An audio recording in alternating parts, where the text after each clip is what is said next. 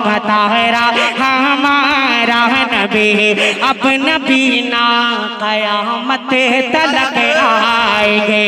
अब कयामत तलक है, हमारा नबी, अब कयामत तलक है, हमारा नबी। पत्थरों देखो पढ़ना है तुम्हें नबूवत चालीस साल की उम्र में मिलती है। बिफोर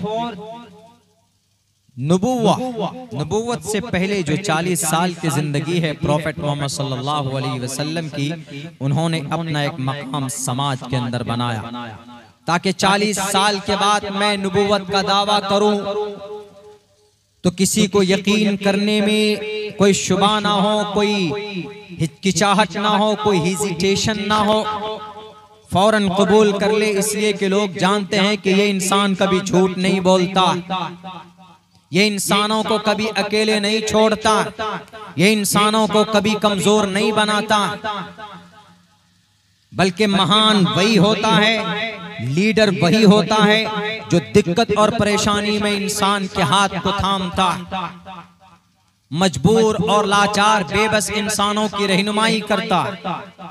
एक भारत भारत ने दुनिया के अंदर एक बहुत महान, बहुत बड़ा इंसान गुजरा। उसका नाम Nelson Mandela.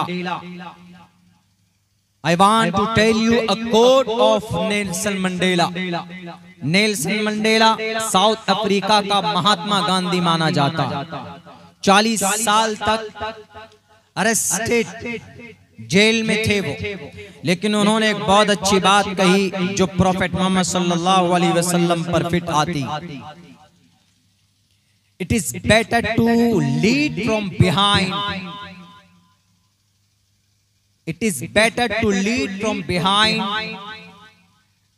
and put others in front when you celebrate victory जब आप खुशी के मौके में होते हो तो आप दूसरों को आगे बढ़ाइए। कोई महान काम आपने किया है तो क्रेडिट अपने सर पर मत लीजिए कोई अच्छा काम आपने किया है दूसरे को आगे बढ़ाइए कि नहीं इसने अच्छा काम किया। जलसा आपने किया मेहनत किया आपके वर्करों ने मेहनत की आपके इमाम साहब ने आपके गाँव वालों ने लेकिन इमाम साहब कह रहे कि मैंने कुछ नहीं किया हमारे गाँव के नौजवानों ने हमारे गाँव की बूढ़े हजरात ने बड़ी मेहनत की and put others in front when you celebrate victory जब आप खुशी मनाते हैं तो दूसरों को put others in front दूसरों को आगे लाए and take you and you take front line when there is danger लेकिन जब परेशानी हो जब समाज सोसाइटी दिक्कत में हो तो उस वक्त फ़ौरन आगे बढ़ जाओ किसी भी परेशानी का चैलेंज का सामना करो मुकाबला करो। And take you and you take front line when there is danger जब परेशानी हो तो फ़ौरन आगे सब में खड़े हो जाओ और उस परेशानी का मुकाबला करो। टेक यू फ्रंट लाइन सबसे पहले। ये सिफत अल्लाह के नबी अलैहिस्सलाम के अंदर थी। Then people will appreciate your hidden your leadership skills. तब लोग कहेंगे कि यकीनन ये इंसान महान है क्योंकि जब अच्छा वक्त आता है तो अपने आप को अच्छा काम करता है। लेकिन जब क्रेडिट की बात आती है तो दूसरों को दूसरे के सर पे डालता। लेकिन जब परेशानी की बात आती है तो खुद सामने बढ़कर उस परेशानी का मुकाबला करता है और उसको खत्म करने की कोशिश करता है। बहुत अच्छी बात कही थी उन्होंने नेल्सन मंडेला ने जो प्रॉफेट मोहम्मद रसूलुल्लाह पर 100 परसेंट फिट आती। एक मिसाल और देता। हमारे भारत के अंदर एक महान cricketer captain he was a great captain of India Indian cricket team Mahendra Singh Dhoni का नाम सुना होगा When our India won the World Cup, कब? कब सन 2011 में आपने देखा होगा छठे नंबर का बैट्समैन कौन? महेंद्र सिंह धोनी। लेकिन जब दो तीन विकेट शायद पहले गिर जाता है। नौजवान है जल्दी समझ में आएगा इसलिए ये एग्ज़ाम्पल दे रहा। वरना मुझे ज़रूरत नहीं थी। फ़ौरन आ जाता है। तीसरे या चौथे नंबर पर आ जाता है। छठे नंबर का बैट्समैन देखा कि तीन विकेट गिर चुके हैं तो फ़ौरन तीसरे नंबर पर आकर संभालता है एक तरह। खेलता है। यहाँ तक के आखिर में विनर शॉट पे लगाता है अपनी उस टीम को। When you you take the front line when there is danger जब परेशानी हो तो फ़ौरन कमान संभाल लिया जाए लेकिन जब जीत जाता है जब वर्ल्ड कप की बारी आती है उठाने की when you celebrate and put others in front तो खुद पीछे हो गया। आपने देखा था कि महेंद्र सिंह धोनी के हाथ में वर्ल्ड कप नहीं था किसी और के हाथ में था सचिन के हाथ में था या किसी और के हाथ में था। वो पीछे था खड़ा होकर। जिताया किसने उसने? लेकिन वर्ल्ड कप जब लेने की खुशियाँ मनाने की बात आई तो उन्होंने दूसरों को दी। ये हमारे और आपकी ज़िंदगी में होना चाहिए। तो आप अली सलाम ने 40 साल तक आप अली सलाम ने ऐसा किया। परेशानी आती तो हिलफुल फजूल तंजीम बनाई। एक मजलूम सहाबी बाहर से आए आपके गाँव में। बाहर से आए मक्का में तो आस बिलवाइल से मुआदा करके तिजारत और बिज़नेस शुरू करते बिज़नेस शुरू करने के बाद आस बिन वाइल ने प्रॉफिट को अपने पास रखा। सारे शेयर दबा लिए मुनाफा अपने पास रखा कब्जा किया और उसको कहा कि जाओ तुम्हारा कुछ नहीं। ये जबी बाहर का एक परदेसी जैसे मैं आज आपके गाँव में एक परदेसी किसी से जान पहचान नहीं। थोड़ी सी कम्युनिकेशन विद द इमाम साहब। आज हम पर कोई जुल्म हो तो हम कहेंगे कि इमाम साहब या इस पूरे गाँव के अंदर कोई ऐसा माए का नाल नहीं। जो मेरे ऊपर हुए जुल्म को कोई इंसाफ में बदल सके तो जबीद इसी तरह गली गली घूमता था और यूँ कहता था कि है कोई इंसान इस पूरे अमन के शहर में। जो मेरे हक हकूक आस बिन वाइल लूटे उससे दिला सके। किसी की रग में किसी की हड्डी में ताकत नहीं थी। क्या वाइल उस उद्योगपति के खिलाफ आवाज़ बुलंद करता। लेकिन प्रॉफिट मोहम्मद रसूलुल्लाह ने एक तंजीम बनाई। एक जमात बनाई उस जमात का नाम। हिलफुल फजूल रखा। आपने बड़े बड़े लोगों को चुना, छोटे लोगों को भी चुनकर उस तंजीम को अप्रूव किया और उसको खड़ा किया स्टेबल किया। और ये कहा कि ये तंजीम मैंने इसलिए बनाई ताकि किसी के ऊपर जुल्म हो तो उसको इंसाफ दिलाया जा सके। कोई गरीब भूखा हो तो उसको दो निवाला उसको दो वक्त की रोटी फराहम कर सके।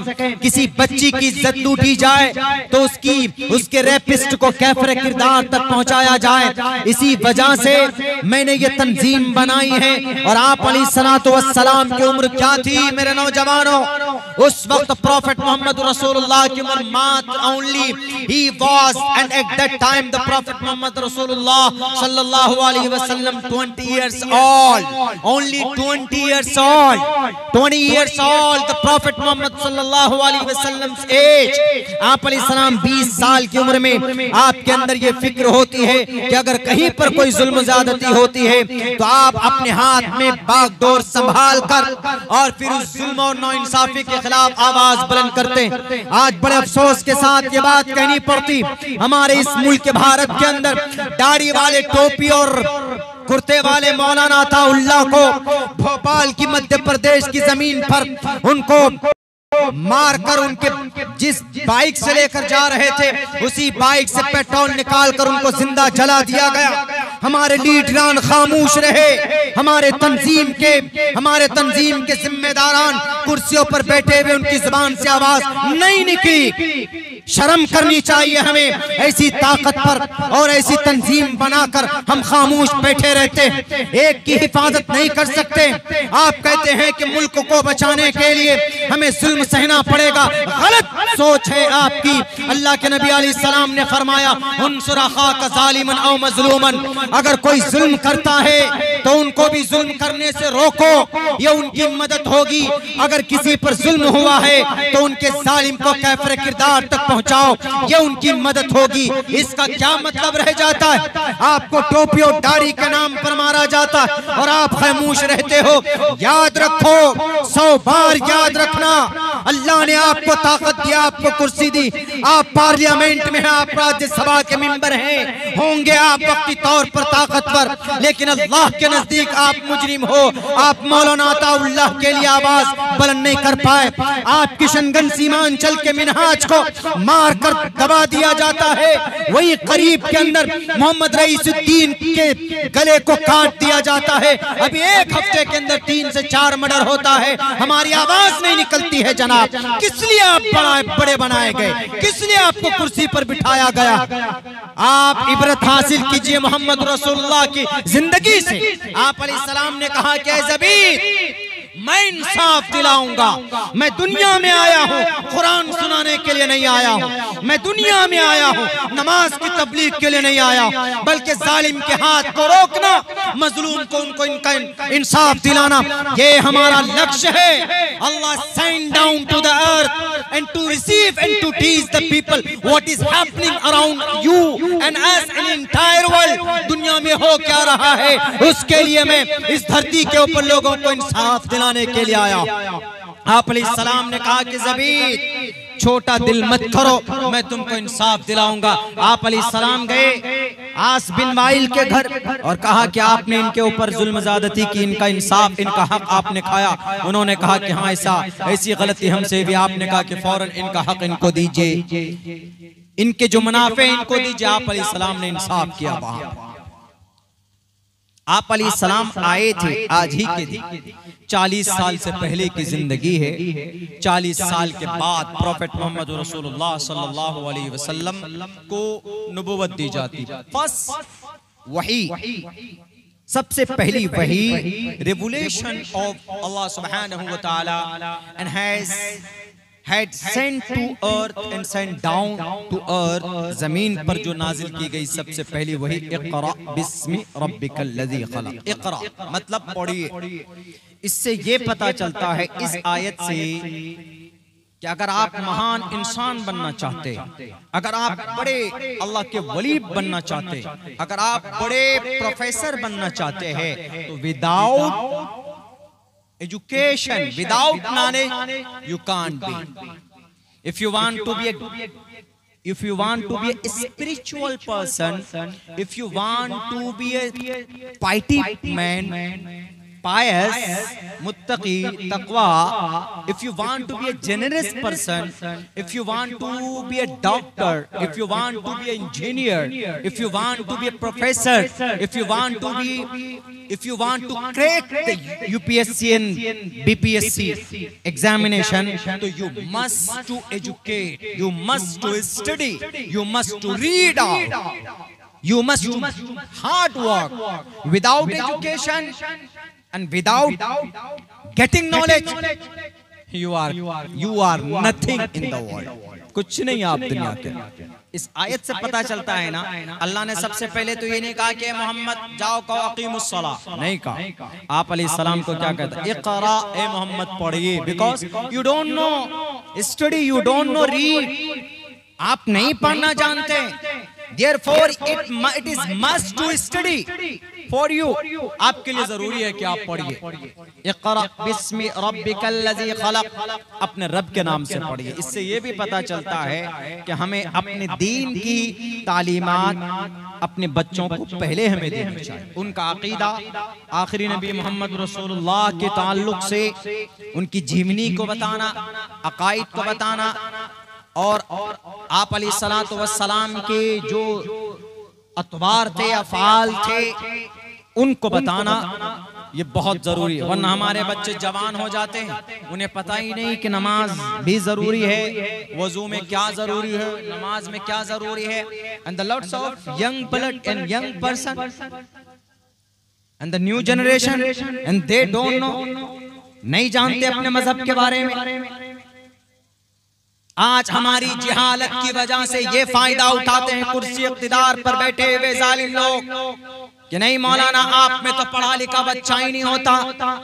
आप में पढ़ने वाले बच्चे नहीं हैं। आपके बच्चों में ताकत नहीं है कि बड़े नीट को क्रैक करें। आपके बच्चों में इतनी ताकत आपके बच्चे तो मौलाना साहब बनते हैं। आपके यहाँ के बच्चे तो हाफिज साहब बनते हैं। ऐसा माहौल बना दिया गया है कि हाफिज मौलाना कारी साहब बने तो कुछ नहीं ऐसा माहौल बनाया गया। उन्हें शर्म आनी चाहिए कि अभी एक हाफिज साहब बेंगलोर के शाहीन ग्रुप से उन्होंने नीट में 720 नंबर का एग्ज़ाम होता है 720 का लेकिन एक हाफिज कुरान ने 680 नंबर लाकर नीट के एग्ज़ाम को क्रैक करके और बता दिया कि हाफिज everything everything is possible for Hafiz Quran.